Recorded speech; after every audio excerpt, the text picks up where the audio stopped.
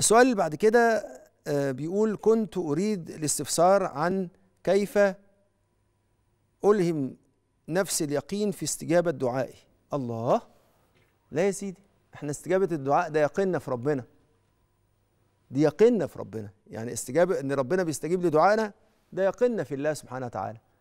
لكن كيف ألهم إن ربنا سبحانه وتعالى ألهم اليقين بإن ربنا سبحانه وتعالى استجاب دعائي؟ خلاص لأنه وعدني. فدوت مش هتع... مش. مش هيوصل لقلبك غير لما تعمل حاجتين. أول حاجة عشان توصل لده ببساطة خالص أول حاجة عشان توصل لده إن أنت تتذكر جميل معاملة الله لك. هو في كل موطن بيلحقك من غير ما تدعو. في كل موطن بين... ب- ده هو طول الوقت بيديك نفسك بيرزقك.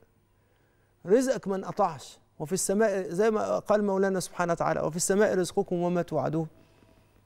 إيه اللي حصل؟ إيه اللي حاصل؟ واعلم أن الأمة لو اجتمعت على أن يضروك بشيء لن يضروك بشيء إلا بشيء قد كتبه الله لك والله كتب على نفسه الرحمة. والله لطيف بعباده. يبقى أول حاجة تشوف معاملة ربنا ليك إيه. فإذا كان ربنا بيعاملك كده من غير ما تسأله من غير ما تطلب منه فإذا سألته فهل هو بخيل؟ هو كريم. آه يبقى تنتقل إلى المعنى الثاني تتذكر جميل صفة الله سبحانه وتعالى.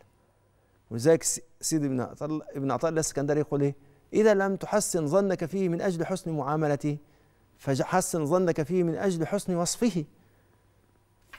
ومن إذا لم تحسن ظنك فيه من أجل حسن حسن وصفه فحسن ظنك فيه من أجل حسن معاملته.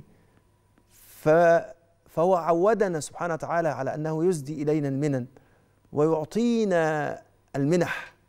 فالله سبحانه وتعالى عودنا على هذا. فأنت لو ما جركش إلى حسن الظن بالله سبحانه وتعالى حسن صفات الله فشوف معاملته معاك هتكون كانت إيه. وساعتها هتحسن ظنك ويبقى عندك يقين إن ربنا سبحانه وتعالى. طب تعمل إيه؟ كرر على قلبك طول الوقت. ده ربنا عمل معايا كذا وفعل معايا كذا وسترني وما زال بيسترني. وأنا ده ده أنا ناسي ان أنا ادعوه ان هو يسترني من زمان وهو بيسترني من غير دعاء. ياه!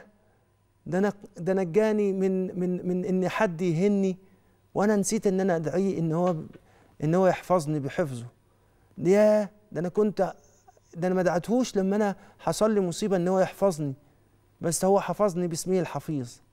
آه كده كده لا أنا خلاص أنا على يقين إن ربنا ده عمل لي كل ده من غير ما أدعوه. فإذا دعوته أكيد ربنا هيستجيب لي ويوسع عليا.